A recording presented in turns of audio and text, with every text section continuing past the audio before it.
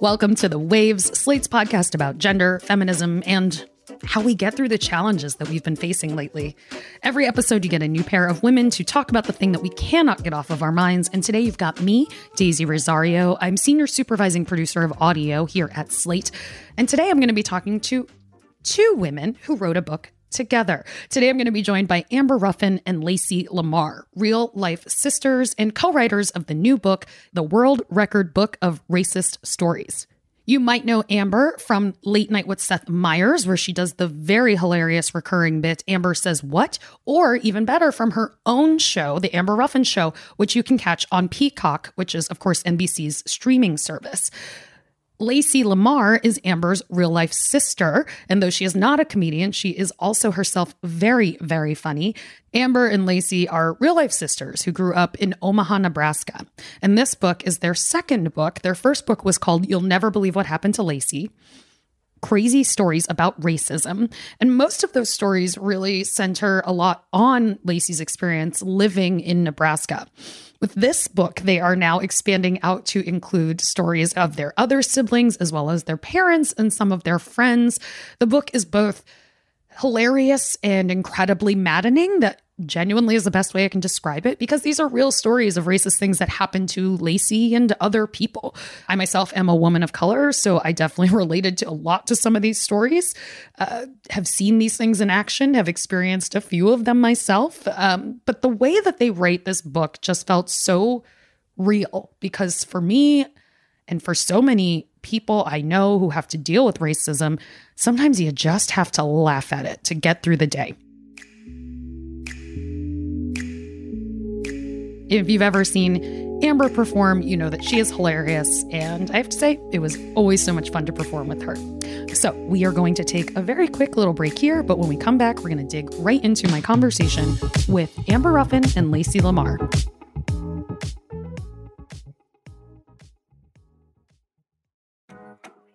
Hey, Waves listeners, if you're loving the show and you want to hear more, subscribe to our feed.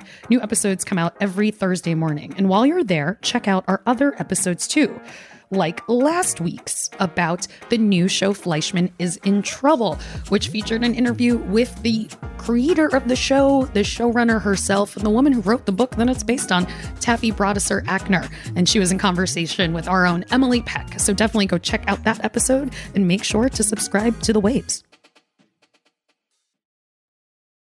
Welcome back to the Waves. I'm now joined by Amber Ruffin and Lacey Lamar, real life sisters and authors of the new book, The World Record Book of Racist Stories. Amber and Lacey, welcome to the Waves. Yay! Thanks for having us. Thank you. Thank you so much for being here. So, this is the second book that they have written in a similar theme where they are sharing the stories of everyday racism that has to be endured, particularly by Black Americans, but honestly by many, many different kinds of people of color and immigrants in different scales. And one of the things that's really special about this book in general and the previous book is just the humor that's in it, which is something that I know I could relate to so much in the sense that you kind of almost have to laugh at some of these situations when they happen because they will drive you crazy. They'll probably also drive you crazy, even if you're laughing, but it does help long term. So I do want to ask, kind of just to get started, like what made you write another book about this topic? Lacey, do you want to do you want to start with this one? Do you want to take this? Um, we didn't get to put everything into the first book. I feel like we had so many stories. We were like, we could do another book, definitely. I mean, we just had so many stories. And then, and we wanted to add in our family and then people in the community. So a second book was demanded. Yeah. what about you, Amber? After the first book was written, stuff kept happening to Lacey. Like she still exists. right. You know, so it just even and and this is something we didn't do, but we should have. We should have made one of the chapters just things that have happened since the first book, it would have been the longest chapter. I mean, that's one of the things that I do really enjoy about the book is that kind of the references to the fact that like yes there already was another book and like the amount of things that have happened since and kind of mentioning even though obviously you didn't get to get into all of it but things like when Lacey is at the mall and like meets the women in the mall who work there who are like, We read that book. We love that book. And then she immediately has another example of the same thing happened to her in the same store, just like in the next apartment over. Just felt so real to me. Like I was just like, Ugh, yes, exactly. In the last book, we had a whole chapter about how Lacey was forever followed around at J.C. Penney. Well, like mother, like daughter, because mom was followed around J.C. Penney too. Okay, mom used to wear this really cute leather cape. It was a hard to explain capey shawl thing, like a short poncho. It was so cute, and I have no clue where it ended up.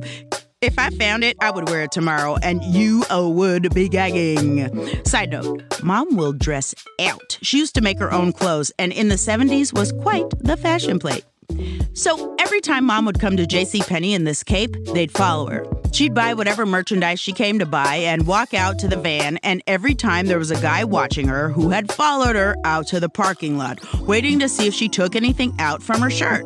I asked her if she ever took out two middle fingers and showed him those. I got in trouble. So, years before I was followed around the store for years, mom was followed around that store for years. She would have told us sooner, but, and this is important, she forgot.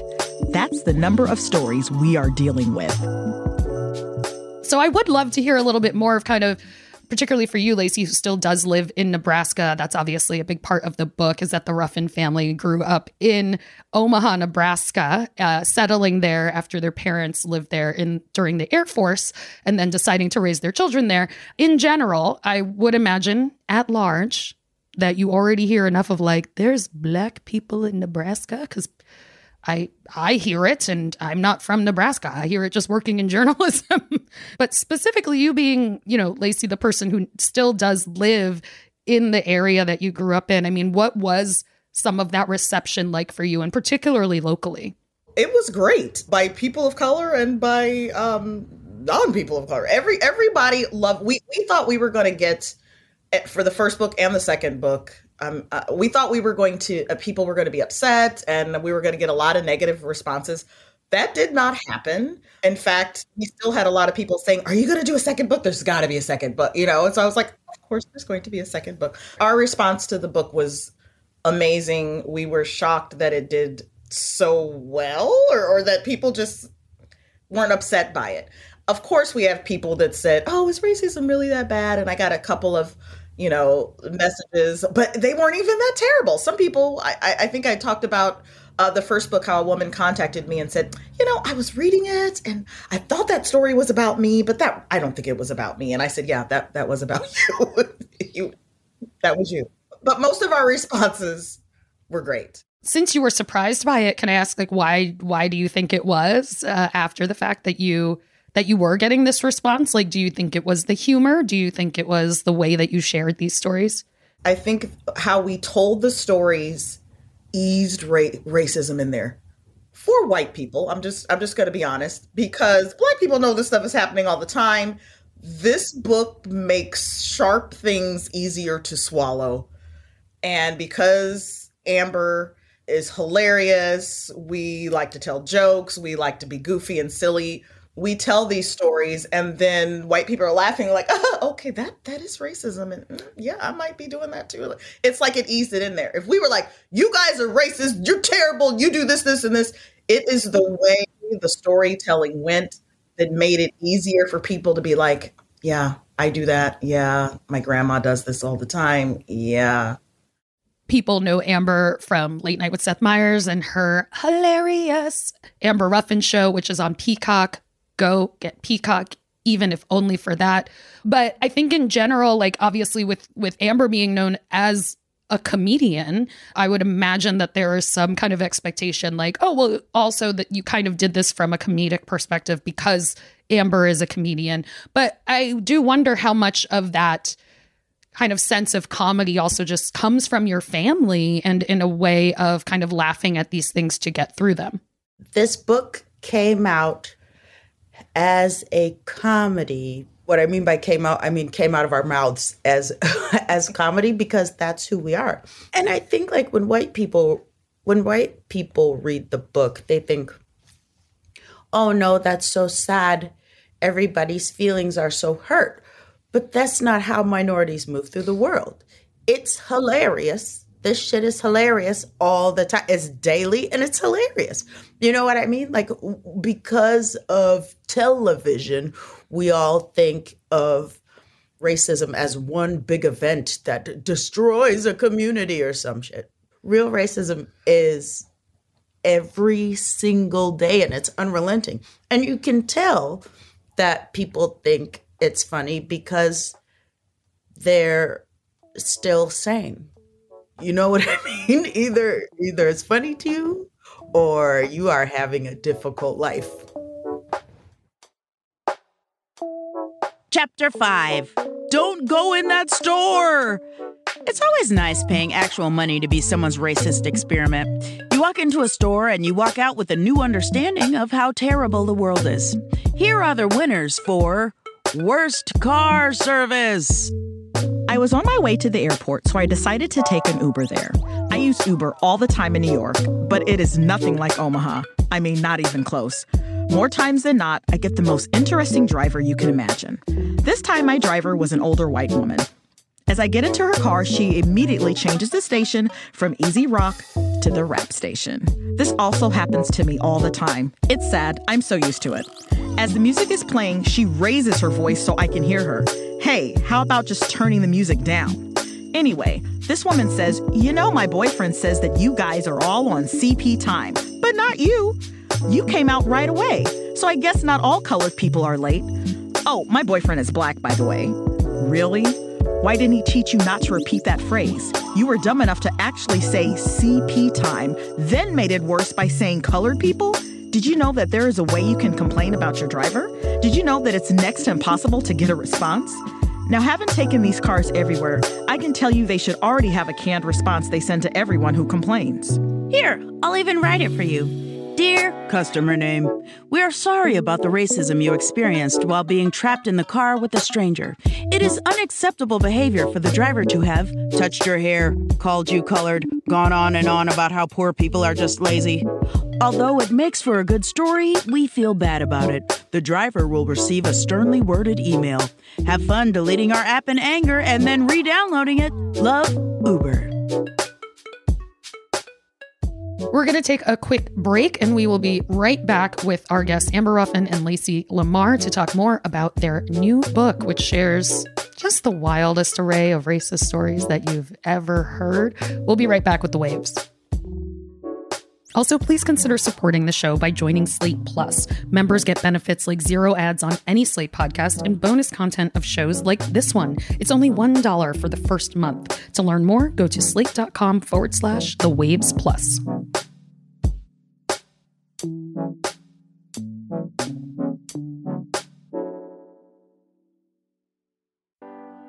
This episode of The Waves is brought to you by Amazon Music. Actress, singer, entrepreneur, and everyone's favorite Virgo, Keke Palmer, has a hilarious new podcast called Baby, This is Keke Palmer on Amazon Music, and you're going to want to check it out. Keke has a lot of burning questions that keep her up at night. She's putting friends, family, and some of the hottest experts in the hot seat to ask them the real questions that we really want to know. Like, is OnlyFans only bad? How has dating changed in the digital age? Where would former child stars be if they weren't actors? These are just some of the questions running through Keke's mind, and she's letting us in on it all. Because on Baby, This is Keke Palmer, no topic is off limits. Listen to Baby, This is Keke Palmer exclusively on Amazon Music. Download the Amazon Music app now. This episode of The Waves is brought to you by Cook Unity. Getting delivery is kind of like having a bad date. It's supposed to be quick, easy, and drama free, but it never really is. It happens late at night, and it's never on time, it's never as hot as you hope, and it usually leaves you full of regret. Maybe it's time to break up with delivery and try something better. You could be inviting a different chef over every night with Cook Unity. The first chef to eater platform, Cook Unity connects a diverse chef collective with food lovers to create an elevated at home dining experience. Through the weekly subscription, eaters can select from a wide array of fully prepared dishes handcrafted by talented chefs. With quality ingredients and hundreds of fresh, creative meals, you'll never have to resort to swiping again. You might even want to light candles. Sign up at cookunity.com slash breakupwithdelivery and get 50% off your first week with the code WAVES. Welcome back. I am here with Amber Ruffin and Lacey Lamar, authors of the new book, The World Record Book of Racist Stories. Before the break, we were talking about the way that the humor that is in the book is not something that is put on. It's not a layer. You didn't write a book full of serious stories and then go, let's add jokes to make this easier. Like that came from who you are. But another thing I love about this book, because it does focus on stories that have been experienced by your entire family, I felt like you could also see throughout the book, because of the way that you talked about your family, how much you really did have like a loving, beautiful, seemingly very funny family unit that really gave you, you know, just a good core of who you are. And when it comes to things like racism, and the way that we experience it so constantly in the world. I know for me, I have found that, like, looking back, I realize how much having my family just like give me a hundred percent no doubt that I was a valuable human being in this world, like really did set me up for as soon as I got outside and was like constantly being told by people that I was not valuable in the world. And I felt like that energy of your family comes through in this book. Oh, yeah. There's no bigger support system than mom alone. I remember finding out that she had told everyone. I thought this was a special message to me, but she had told everyone at one point or another, You're the smartest child in this class. And if anyone else thinks they're the smartest, they're mistaken. and she said that to everybody. it's so lovely to hear about like such affirming parents though and i think people do underestimate how kind of essential that is to surviving the day-to-day of these constant micro and macro aggressions there's a whole chapter in the book of stories that are actually from white friends in your life of things that they got away with things that they're aware that they got away with because they are white. Like just just wild descriptions of things that should have been a problem and ended up being not a problem. Cops giving their all to protect my friend MB. My good friend MB, who is a white lady, and I love to trade opposite stories. Stories where I'm suffering some racist nonsense and she's getting away with everything but murder. It's so shocking to me. I can't believe this is happening to my little bud. Being white is hilarious, so as you hear these next five stories, try to think about how out of place they are in this book. Try to imagine a black man getting away with any of this. It's fun because you can't.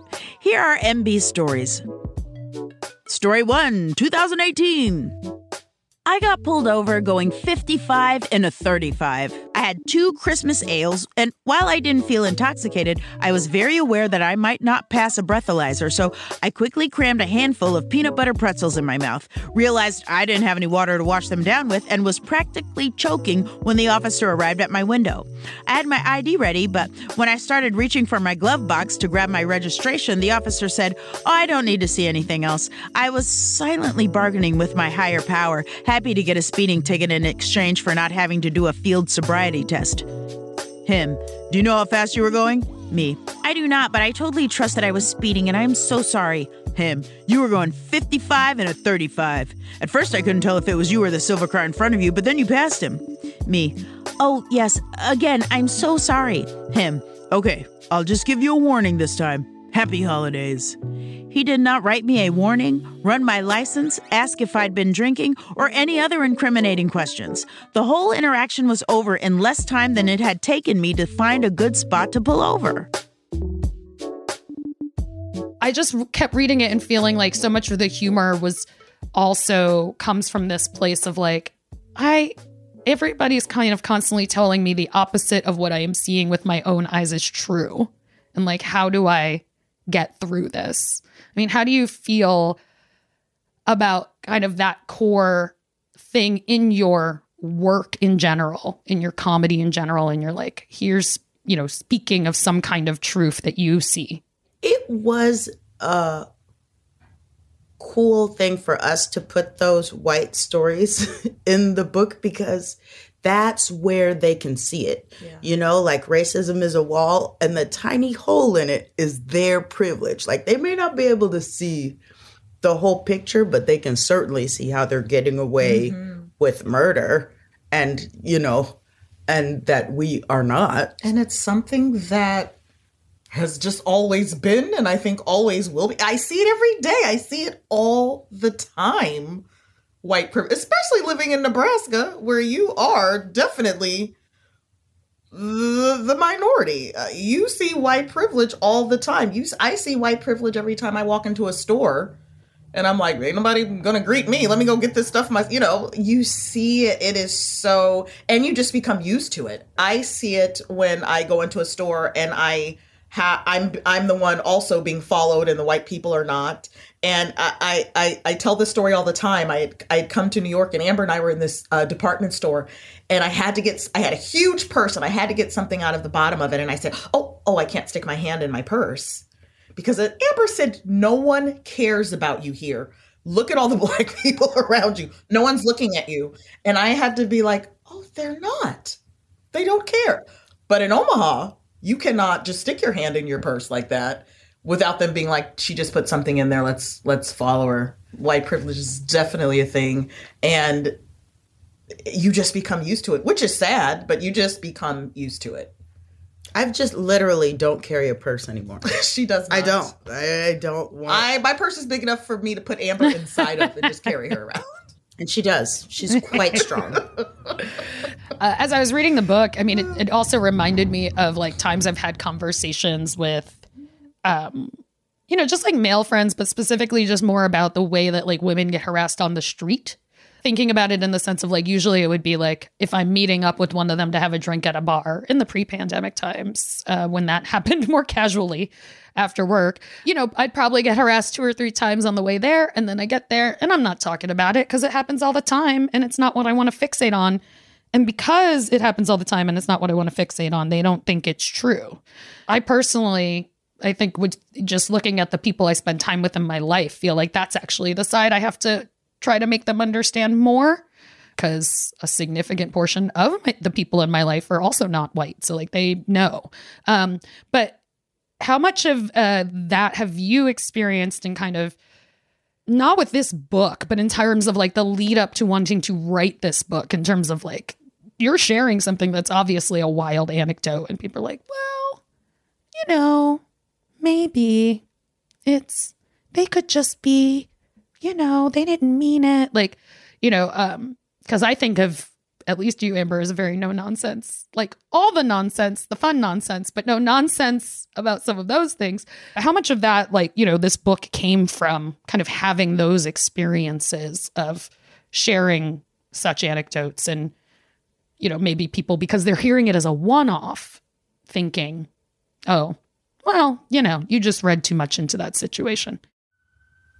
Well, that happens all the time. It, it happened to me all the time, especially when I was at work and the racist things were happening. And I would, that's why I kept my log. I don't know if we, so the first book was written because I had so many, um, I had written down so many things that had happened to me at work just to go to complain to HR, just to be like, this is a pattern this happened to me today, this happened to me yesterday. I would write down all these racist events. And then after a while, they can't deny it. They can't be like, mm, yeah, Timmy is saying this every day because they will deny it in a minute. Oh, they didn't mean that. They they did not mean to call you Negro. They, you know, just yeah. Oh, people deny and deny and deny.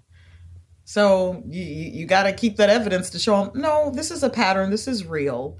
And even if I complain once about it, it's real. Right. Yeah. yeah.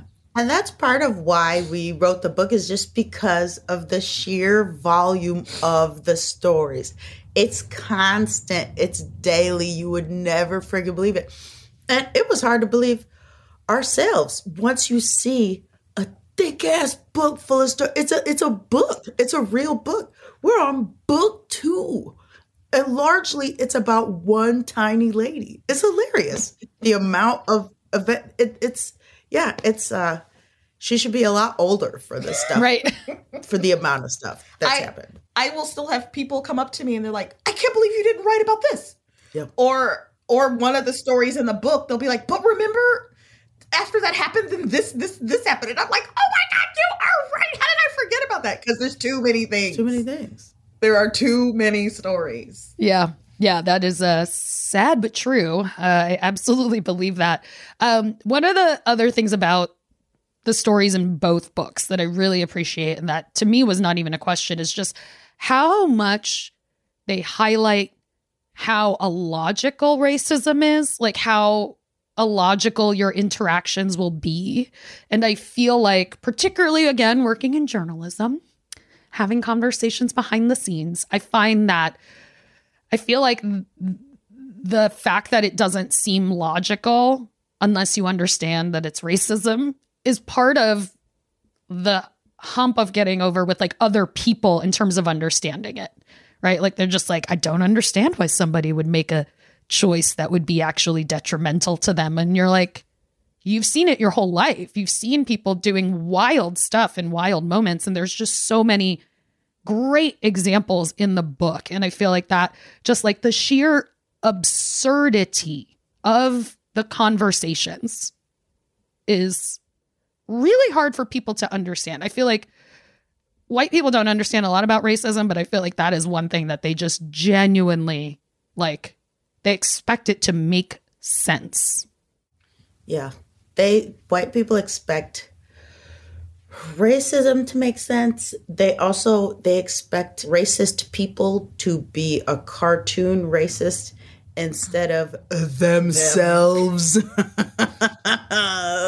Like that's also another thing we wanted to do. Like we wanted the racist people to be like the sweet old lady, the loving mommy, the adorable baby. It's these people. It's not a special person you've never met. It's everybody you know. And yourself. And your damn it's, self. It's you. and the situations weren't like I was at a rally on racism and you called me the N word and threw a rock. That's what you think all racism is. But it's you saying, Lacey, um, you have a mother and a father? You know wow. You know it's it's it's just it's it's it can be subtle as well. They don't see that as being racist. I was just asking questions. I was just no it's you too you're yeah. you're in there. I was working at a retirement home and a white coworker was trying to talk to me about race during the morning meeting. We have just had a very serious conversation about a resident who refuses to be helped by black staff. This person does nothing but berate black employees with racial slurs and sometimes physically tries to harm them.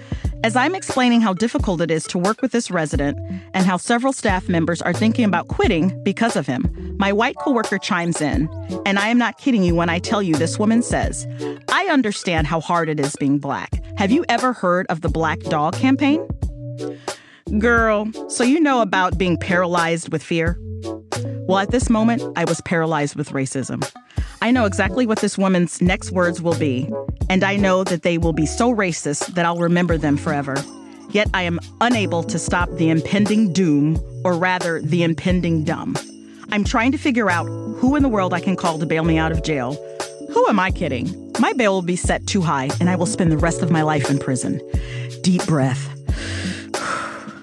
this woman says, You know, Black dogs never get adopted, so it's very hard for them in the shelters because they are the first to be euthanized. Please, in the name of sweet black baby Jesus, explain to me what this has to do with this conversation. We are talking about human beings, and this bitch is like, all dogs matter. Anyways, after she says that, I fight her and spend the rest of my life in jail. Just kidding, but I wish I had. Amber, obviously, you live uh, in New York now to work on the show. And it's also something that you talk about in the book is that, you know, since you've been spending more time in New York, you're like not having to deal with as many obviously wild Lacey moments, like, or at least the ones that play out in the style of, you know, what is described in the book. Uh, but I would love to hear just because we are a Slate podcast and I know we got a lot of listeners in the big cities. Like, you know, give us an example of how that has, how you've had a similar experience even in a place like New York. Oh man, these people are crazy, dude. Um, it's, it's everywhere. It really is. First of all, the cops are almost worse. Cop will, uh, will get you no matter what city you're in. But here in New York, we have a lot more black cops, and that's safer. Um, but um, I've certainly worked on projects where I'm fully ignored until something black happens. Like that's for sure. They'll we'll all have, you know, be uh, putting together a script or something, and then when the black person talks, everybody looks at me. Meanwhile, I have jokes that you all poo pooed when it came out of my mouth, and then three people later, it came out of a white mouth, and you were like, you know what, that's a good idea. Like that uh, very happens to me. It very happens. I would say that that is the main offender. And then there's that like bougie type of thing where you only talk to me about like I still have friends who only friends is a strong word um who only talk to me about black stuff.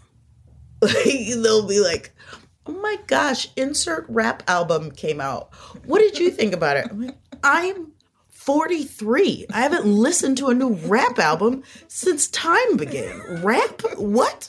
No man i'm old. It's too loud. You know what i listen to? Mumbling. smooth jazz. I just want to thank you again. Real life sisters. I can't stress that part enough because boy, is it part of what makes reading the book just so very, very fun. Lacey Lamar and Amber Ruffin, thank you again for joining me on the waves. yay daisy and Maisie we love you yay That is our show this week. The Waves is produced by Cheyna Roth. Daisy Rosario, that's me, is senior supervising producer of audio, and Alicia Montgomery is the vice president of audio. We would love to hear from you. Please email us at thewaves at slate.com. The Waves will be back next week. Different hosts, different topic, same time and place. Hello, Slate Plus listeners. Thank you so much, as always, for being Slate Plus subscribers. We're continuing our conversation with Lacey Lamar and Amber Ruffin about their book, The World Record Book of Racist Stories. I just think about this. I mean, we kind of touched on this in one of the, the previous questions, but I feel like sometimes when I talk to people about racism or again working in journalism and having to do work about it, right? That that's not just featuring me but other people. Um, I feel like one of the things that I hear or that maybe I don't think white people realize that they're saying this is that when they hear complaints about racism, they almost seem to think that like that's the only kind of stress that is happening as if like you're not also like every other person trying to figure out how to pay your bills and take care of your family and have stress at work and have days where you come home and don't want to cook and stuff. It's almost as if there's they seem to think that it's like you either are dealing with racism or you have like real life problems. And one of the things I love about your book also is that you know, it just kind of is constantly underlining how not true that is. But knowing that, you know, you wrote this book, I'm curious if that's something that you have seen in the reaction and the way that some people talk about it. I know you said the reaction has mostly been really positive, um, but just knowing that there's press, there's marketing, like I'm wondering if kind of the fact that people tend to define racism as like this very separate human experience, as if the other human experience is not also happening, is something that you've seen and experienced. yes, that is true. But the good part about that is racism is fun and we could all I'm just kidding. Um, but the good the good part about it is white people are like white people are are never like if that happened to me, well, I would just blah, blah, blah. That's rare. What's most likely is white people are like, if that happened to me, I would lay down and cry until I died from it. People are very honest about how they could not handle this stuff. And that is, that makes me feel like it's getting in there. You know what I mean? I, I think that people are like, this is too this one happening is too much for a person but when you make it daily i don't know how you are doing it they haven't even put the two things together you know what i mean daisy like what you're saying is true Mm-hmm. Yeah. and then it's still too much to handle a fraction of the little bit is too much for these people to handle and honestly i love that Yeah. I that's the Amber hit the nail on the head. That's one of the main first things that white people will say to me when they come up is Oh my god, I can't believe you uh, uh, this has happened to you. How did you get through all this? I and if I I wouldn't be able to handle this. And then I say if you were black you would be able to handle it because this is this is your life. What are you going to do? But yeah. That is the main thing that white people say is, "Oh my gosh, I can't believe you go through all of this all the time." That was just some of our Slate Plus segment. If you want to hear the whole thing, go to slate.com slash the waves plus to become a Slate Plus member today. Slate.com slash the waves plus.